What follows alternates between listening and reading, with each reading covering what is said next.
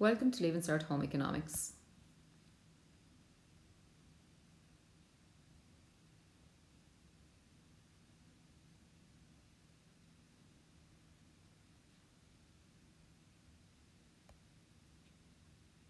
Is home economics a subject for you?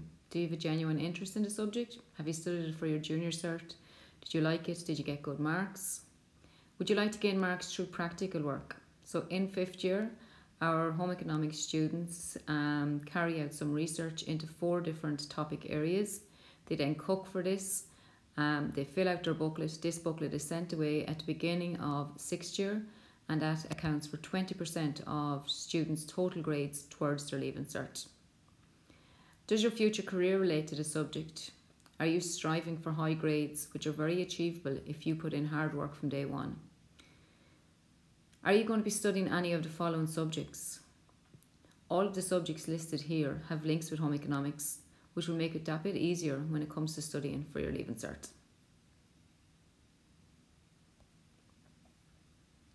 This is the breakdown of the syllabus.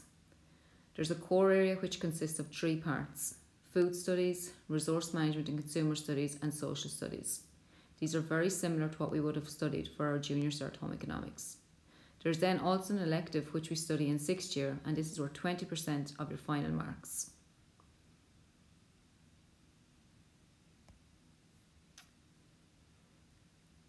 So, like I've said, the food studies is quite similar to what we would already have looked at for junior cycle home economics.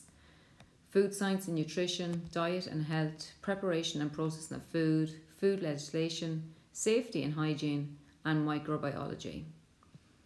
A lot of these topics you would also be studying in biology.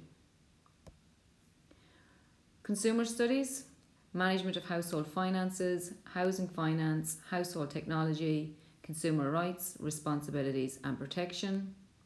And then the final core area is social studies, which is all about the family in society. Then in six years, we pick our elective subject, which is 20% of the um, overall course breakdown. We usually study social studies here in Creagh College. This covers things that are relevant to students' lives, including education, work, leisure, and poverty.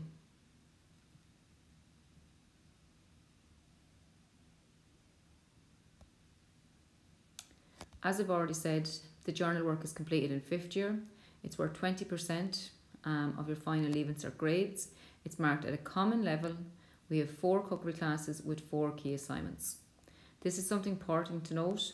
We don't cook like we used to cook in junior cert. There's only four cookery classes throughout the whole of fifth and sixth year, and other than that, it's all theory based. You're not marked on the actual practical itself, but the journal or the research work and the actual write up, which is sent away at the beginning of sixth year.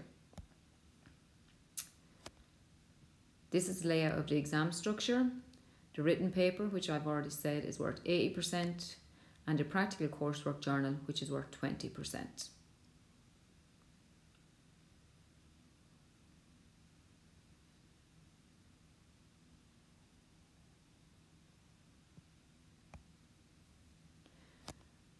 There are many career opportunities that you can pick up if you study home economics.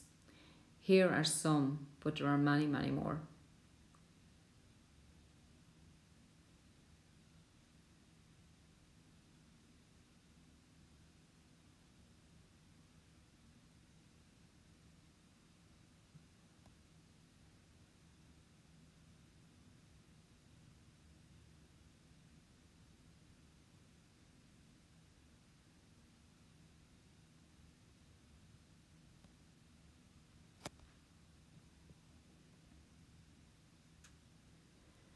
If you're still not sure if home economics is for you, please speak to any of our current fifth or sixth year home economics students who will gladly answer your questions. Please call down to any of the home economics teachers here in Creagh College and we'll take your questions. And look, you don't have to have studied junior cert home economics to pick it up for your leaving cert, but it's definitely a big help. Um, if you're going to pick home economics, you need to be to be prepared to work very hard from day one and be prepared to work independently. Um, it's a very theory heavy based course, but we look forward to welcoming you to Home Economics here in Creagh College next year. Thank you.